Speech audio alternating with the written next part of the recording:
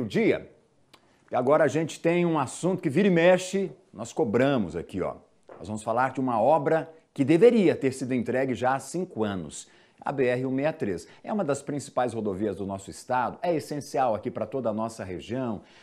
Do Rio Grande do Sul, passando por Santa Catarina, Paraná, Mato Grosso, né? Porque está aí, é um corredor para escoar toda a produção e também servir de corredor para centenas de pessoas, de trabalhadores que estão, que, atuam, que estão atuando aqui nas cidades da região oeste do nosso estado, especialmente Cascavel, Toledo e tudo mais. O problema é que essa obra já está, então, há mais de cinco anos sem ser concluída. Mas enquanto a obra de duplicação da rodovia segue a passos lentos, os acidentes, esses continuam acontecendo e provocando mortes. A moto ficou destruída. O condutor sofreu uma queda grave e não resistiu. A vítima bateu de frente com este carro que pegou fogo. Este homem, que não quer se identificar, tentou ajudar. O condutor, ele tinha sinais vitais, mas a gente não pode não pode estar tá, tá mexendo no corpo, então a gente percebeu que estava começando a, a sair fumaça do capô. Prontamente saímos correndo para conseguir extintores aqui em volta, pessoal, e conseguimos controlar lá o, a chama que tinha por baixo do capô do carro, sendo que a vítima estava dentro dele. A batida foi no perímetro urbano da BR-163, no entroncamento com a BR-467. O local é duplicado e, de acordo com a Polícia Rodoviária Federal, o motociclista estaria trafegando na contramão. O que a gente pode dizer sobre o acidente pode ter sido ali uma falta de atenção do condutor.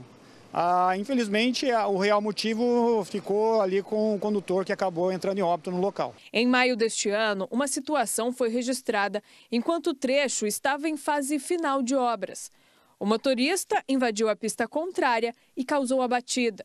Neste caso, ninguém se feriu. Em 2019, uma viatura da Polícia Rodoviária Estadual saiu de um posto de combustíveis pela contramão e atingiu um veículo em que estavam duas jovens. Uma morreu e a outra ficou gravemente ferida.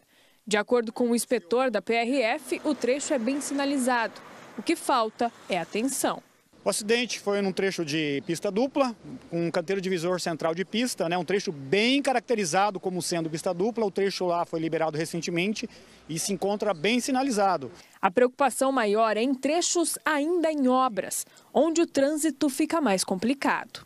A duplicação da BR-163 entre Toledo e Marechal Cândido Rondon começou em 2014. O prazo para a conclusão da obra era de três anos.